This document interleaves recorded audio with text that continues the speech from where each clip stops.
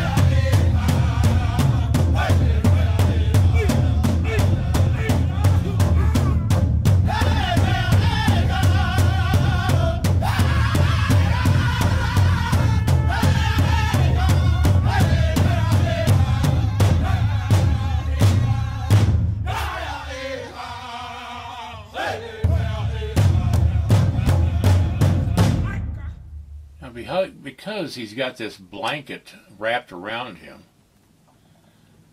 I'm just assuming that his hair would have been caught and uh, all the back hair would be underneath the blanket. And that's kind of makes an interesting design too. So that's what I'm doing right now.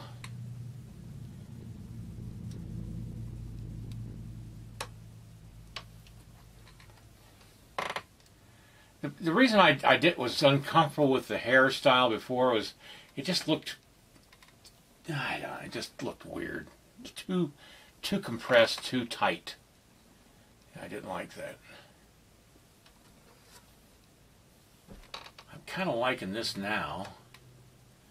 I just hope it works out.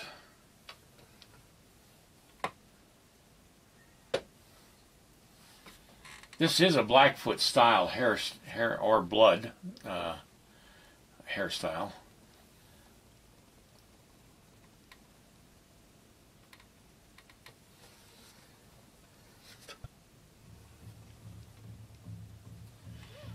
And uh, Nez Perce style. A northern uh, Plains Indian uh, style hair.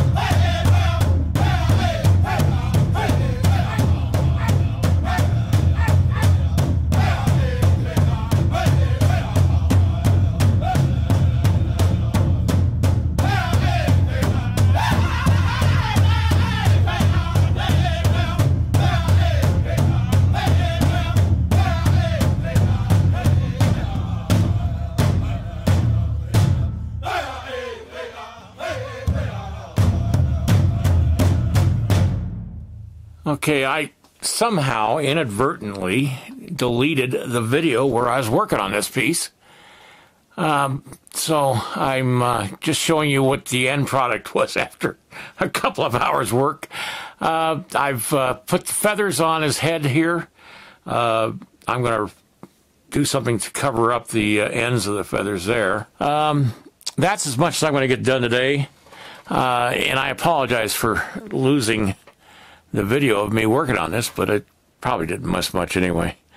I'm going to take this uh, down uh, right now, and because I need to get ready for uh, tomorrow, I'm running to Bozeman. I've got to pick up the bust uh, or part, uh, the wax casting of a piece called um, "Ain't No Cowboy." It's a uh, cowgirl that I had done.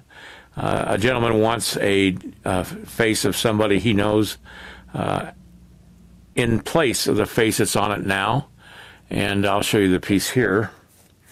And what I'm going to do is I'm going to resculpt that in wax, in the wax stage, and then I'm just going to go straight to shell uh, with the uh, wax.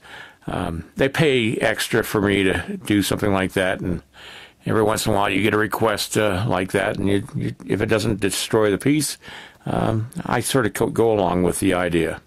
All right, I'm going to call it a quits for today because I've got to uh, get some other stuff done. I'm trying to get my van cleaned out to, so I can arrange everything in my van for the trip next week.